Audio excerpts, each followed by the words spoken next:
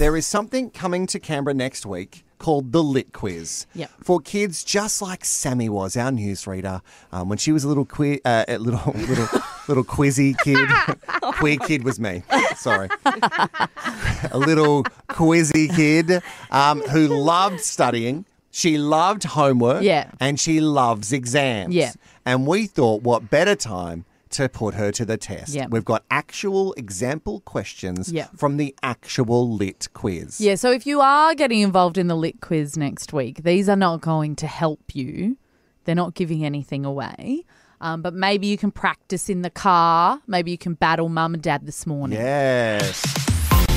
Sammy D, are you ready for the first on air lit quiz? You little quizzy kid.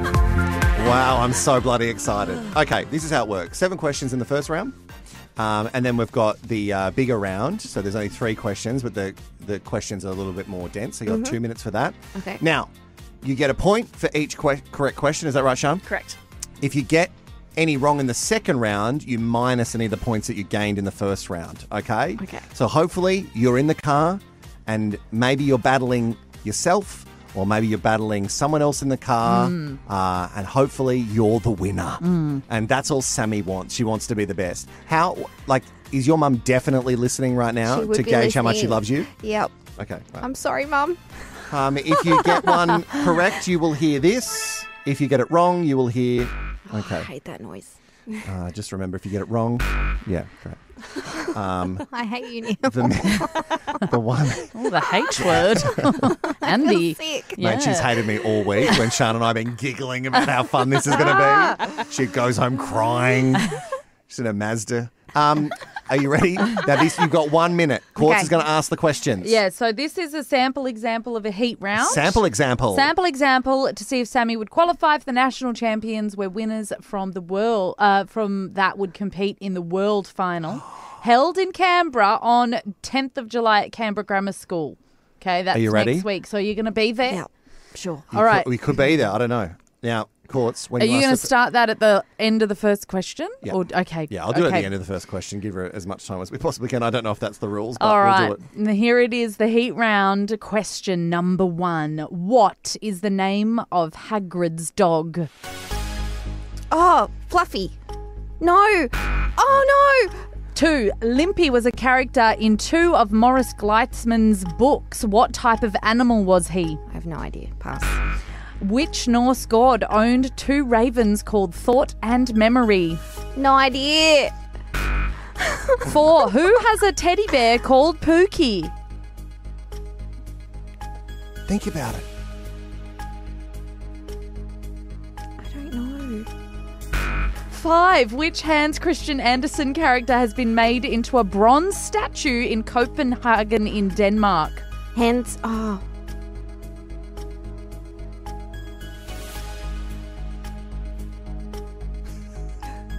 Courts is trying to give her a clue. It's, I've got it. You're going to have to move on, guys. Only 10 seconds to go. Six, what did Thing One and Thing Two like to fly inside the house? They're plain. Seven, who will, ruled We're out of Wonderland? Oh my god, no. I'm terrible! Oh no. Oh, that was so bad! Oh, And my sisters are gonna kill me. I should know Hagrid's dog's name. Sammy, you got zero points. Oh my god! In the This is a different kind of a round. yeah, so second basically, round. you're given a bunch of clues Yeah. uh, to explain what you're trying, like, we're explaining what you're trying to tell us what it is. Okay. Yeah. okay. Um, So the quicker that you buzz in, the more points, you, will get. Each clue takes off a point. So Okay. you could get like se- if there's seven clues, you get seven points. Yep. If you get it straight away. Yep. Less as we go on. Okay. Are you ready to play? You'll have two minutes overall for the three different rounds in this, um, and your time will start. By the way, Yeah. you will lose one point for an incorrect um, Answer, yeah. answer. So we so would- you we could will be go to going into the negatives. minuses. Okay. Yeah. Okay, great. Good Okay. to know. Look at her trying to push it all down. Oh, I love this so much. She's crying on the inside. Okay, so you can ask her the. You give her the first clue. All right. You have to tell this us what you think question is worth seven points at this stage. at this stage. This animal was considered deceitful. In China, it is a symbol of long life, especially when it reached a thousand years. In Europe, they played tricks. In Japan, they are thought to be able to take on human form. In Down- Africa, it was seen as a creature of cunning, trickery, and intelligence. Numerous Aesop fables involve this creature. Dr. Seuss had a tongue twister about one wearing socks. Socks. What rhymes with socks? Fox. She did it. She got one point, One guys. She point. got one point. This question is worth nine points. This character appreciates fine manners. She is kind and wise, but she is also rather bloodthirsty. Her home allows her to see everything that is going on within the place she lives. The other characters who live nearby look up to her. Although she accepts that death is a natural part of life, when she discovers that her new young friend is in danger, she hatches a plan to save him.